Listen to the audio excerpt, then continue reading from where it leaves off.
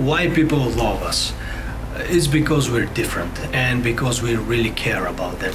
So there, there are a few things that I uh, hear on and on uh, uh, again from clients that had personal training before and they changed with us and they said that was the best choice uh, of their lives in terms of uh, finding a trainer. So they say that we have a systematic approach and things are easily understandable. They're not easy to implement, it's obviously hard work, but it's easy to understand and everything is structured.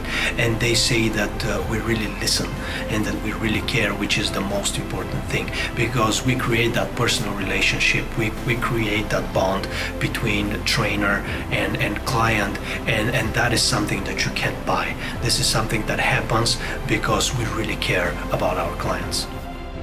Hi, um, I'm Anisha Anderson, and I am actually a